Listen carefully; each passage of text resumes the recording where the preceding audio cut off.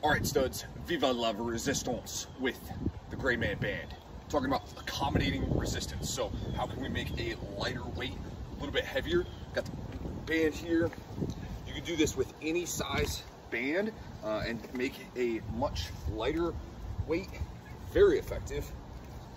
One of my favorite ways is with simple squats. So a couple variations on doing this. We can hold on the sides, we start in the bottom position and then come up fast, okay? The trick here is down controlled, up fast. So you're driving through where it gets really heavy. At the, at the bottom, it's light because there's no band tension. And then at the top, boom, we've got 75 to 90 extra pounds. Another awesome variation here is just a bear hug.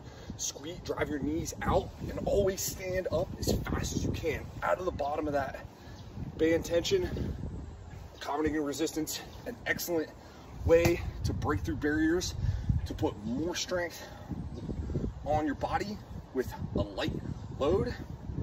Great tool. Keep training.